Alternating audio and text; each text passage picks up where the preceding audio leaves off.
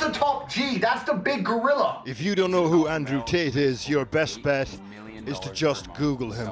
Obscure internet figure with a cult following of fans. At one point this year, more people searched for the controversial influencer's name than they did the names of Donald Trump and Kim Kardashian combined. And if you can be bothered to do that, the first video you'll probably see today is this one. Mr. Tate, why did the police search your car? Andrew Tate and his brother Tristan detained by Romanian police in Bucharest.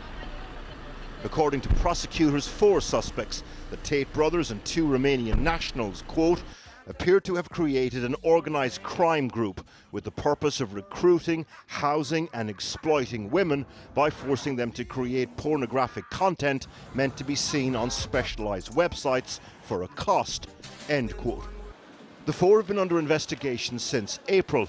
Prosecutors said the allegations relate to at least six women. The warrant also details an allegation of rape from March this year, although it's not known which of the suspects is accused of rape. Tate's detention last night coincided, although is not related, to a bizarre Twitter exchange he just had with Greta Thunberg.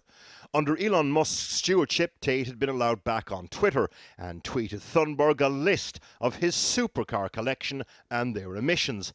She tweeted back, Please do enlighten me. Email me at smallenergy at getalife.com.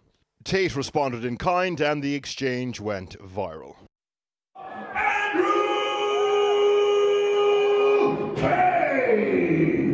He made his name as a professional kickboxer based out of Luton.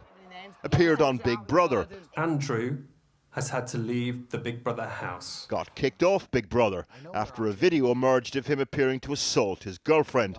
Both Tate and his girlfriend said that wasn't the case. He's supercharged his social media presence, compliments of subscribers to his Hustler University. He's a self described misogynist, his politics Trumpian, his masculinity toxic. So I'm just go through my pockets. It's hard to find my cigars amongst all the money. His money, that's the big question. In relation to his detention, a spokesperson for the Tate brothers told the Daily Mirror today that he couldn't provide any details regarding the case, but that the brothers would cooperate with the Romanian authorities. Tate is a very contemporary sort of influencer, monetizing controversy. No such thing as bad publicity.